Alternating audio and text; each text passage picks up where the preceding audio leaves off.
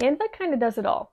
Due to popular demand, we are back and better than ever going through Canva hacks. Today we're going to go through some really cool layering features and font effects that I thought were really fun to use in Canva for graphics. My name is Megan, and if you're new to my channel, I help business owners go from confused to confident on social media. I help you build a loyal community, get quality clients, and build a more profitable business. This is part two of my Canvas series, so make sure you've seen part one as well. Fun fact I actually organize all of the tools that I use for my business in a folder on my Google Chrome tab, and Canva is literally number one on that list. So I use it almost every single day, if not multiple times a day. It is so user friendly, and I love the fact that I can use it on my computer and my phone because I am on the go working with clients. Today's video will be really short. I'm just going to go through two really quick things. We're going to do some layering and some font effects, like I said earlier. And these are just little things that are going to up level your graphics to make you stand out from your competition. Let's get into it. So first we're going to start with the layering features. We're going to go ahead and grab some text and our goal here is to make it look like I am coming out of the O in content.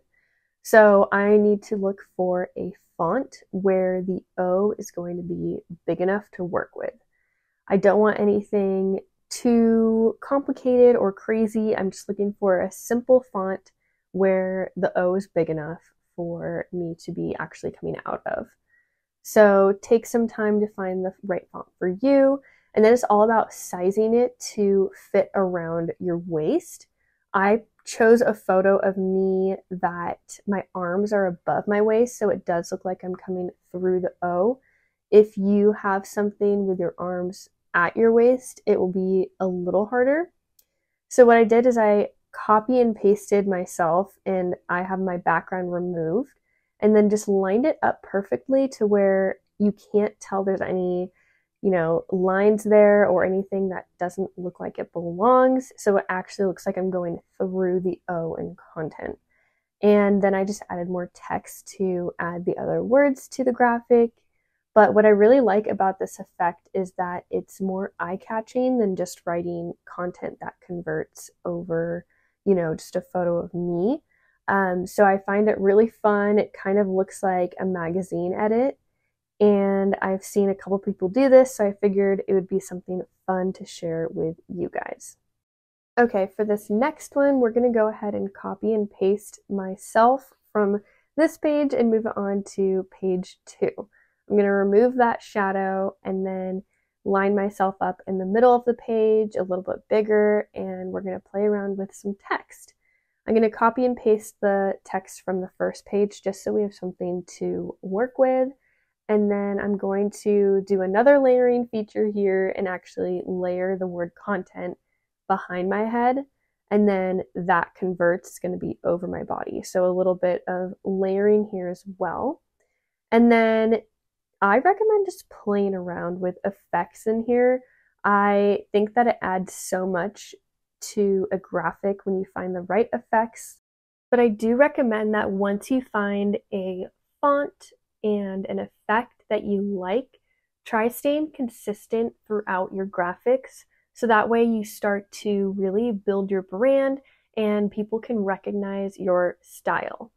So the more you play around here, again, choose your, your brand colors and maybe save those fonts to your Canva branding kit.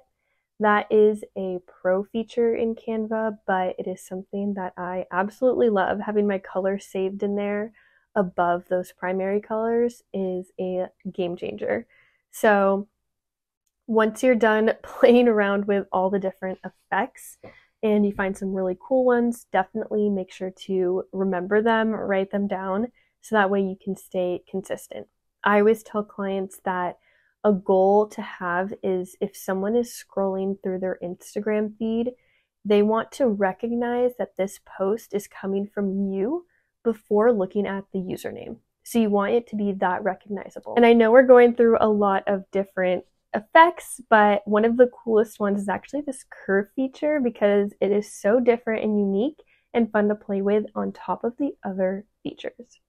That's all we're going to go through today. I know it was super quick, but those little things are what makes the difference between a good graphic and a great graphic. One really quick tip before you go for Canva is I do recommend that if you're going to use one of the pre-made templates, make sure to move around as much stuff as you can and make it your own, or else your content is going to look just like everyone else's. And you want to stand out and be uniquely you. So make sure that you use these fun effects, maybe play with some layering, but make sure the final product represents you. Make sure to like this video if it was helpful and then comment below what you want to learn next and I can walk you through on Canva. Watch this video next to see which tools I use to create content every single day. Thank you so much, guys. I will see you in the next video.